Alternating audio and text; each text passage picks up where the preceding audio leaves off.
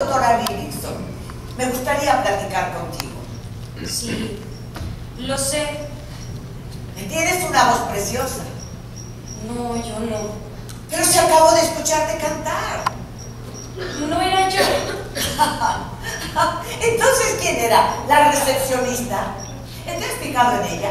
Esa larguirucha con el pelo teñido de azul que parece avestruz. Avestruz. Una buena dirección en una magnífica historia y aderezada con una excelente actuación dan como resultado una perfecta noche de teatro. Eso fue lo que presenció el público cajemense la noche del miércoles 10 de agosto con la puesta en escena de Ausencia de Dios. El elenco de esta producción lo conforma una exquisita combinación de experimentadas actrices como Jacqueline Andere y Raquel Olmedo, con el empuje y la juventud de una nueva generación de artistas como lo es Angeline Boyer. La protagonista de la exitosa telenovela Teresa sorprendió con su actuación, pues a pesar de ser su primera participación en teatro, tomó el reto de hacerlo con un difícil y exigido papel. Mientras que de Olmedo y Andere no hay mucho que abundar, solamente lo que ya se sabe. Actrices de primer nivel que envuelven al público en cualquier papel que representan. La trama de la historia es fuerte, con el siempre polémico y delicado tema de la religión, y se centra en tres personajes, la hermana Agnes, la madre superiora y la doctora Lillingston. Debo estar atractiva ante Dios. Dios te quiere tal como eres. No, Él odia a las personas gordas. ¿Quién te dijo eso? La gordura es un pecado. ¿Por qué? Fíjese en todas las imágenes. Siempre son delgadas. Son delgadas porque sufren. El sufrimiento es hermoso. Yo quiero ser hermosa.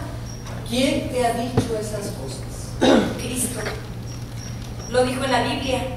Dijo, bienaventurados aquellos niños pequeños que sufren, porque de ellos será el reino de los cielos. Yo quiero sufrir como un niño pequeño. Pero eso no es lo que él quiso decir. Yo soy una niña pequeña, pero mi cuerpo es el que se empeña en hacerse grande y no quiero que sea grande porque no podré entrar.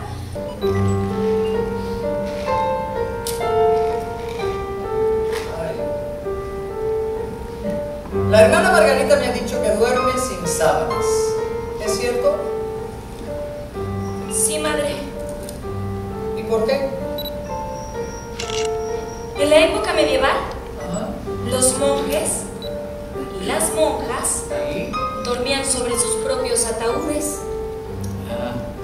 Pero ya no estamos en la época medieval, hermana. ¿Me vas a quemar? Dame los. Eso lo santificaba. Eso lo santificaba. Eso los incomodaba. Y estoy completamente segura de que si no dormían bien, a la mañana siguiente estaban torpes como mulas. ¿Dónde están las sábanas, hermana? ¿De verdad crees que dormir sobre un colchón sin sábanas es lo mismo que dormir sobre un ataúd? No, madre. Entonces dime dónde están las sábanas. ¿Dónde, Agnes? Las he quemado. ¿Por qué? Estaban manchadas. Ay, por el amor de Dios. Pero ¿cuántas veces no te he dicho a ti y al resto de las hermanas que la menstruación es algo absolutamente natural y que no tienes de qué preocuparte? Sí. ¿Cuántas veces no te lo he dicho? A ver, repítelo, por favor, Agnes. La menstruación es algo absolutamente natural y no tengo de qué preocuparme. Pero te lo tienen que saber muy bien y tienen que machacarle. A ver, otra vez.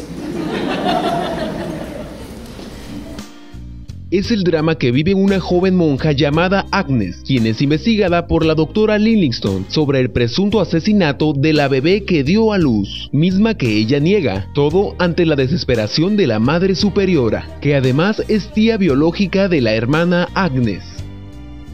Al finalizar la obra, el público del teatro Dr. Oscar Russo Boguel, que registró una aceptable entrada, ovacionó de pie a las reconocidas actrices. Con imágenes e información de Omar Rodríguez para checatelo.com, Rubén Iribe.